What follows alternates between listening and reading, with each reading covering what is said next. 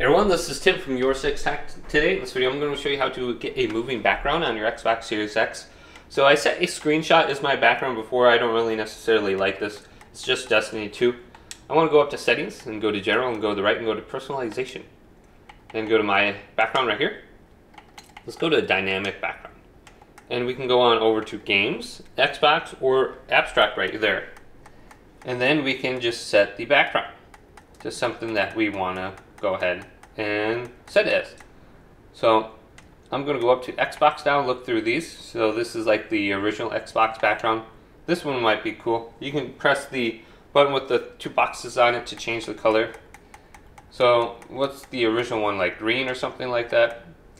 Um, let's go to a different color. Where is green? So let's set as Xbox green. Doesn't look like it changed too much. But you should be able to change the background color. This one just stays the same and then you can go to a different one. So you can go to abstract and you can see the changes on this one more apparently. So you can see it's changing right here in the middle. So you can get a moving background from there. Uh, I don't really notice any of the backgrounds that you can buy through the store, but they're just eventually added to this at some point in time. So look through here and see if you want to change that to anything else.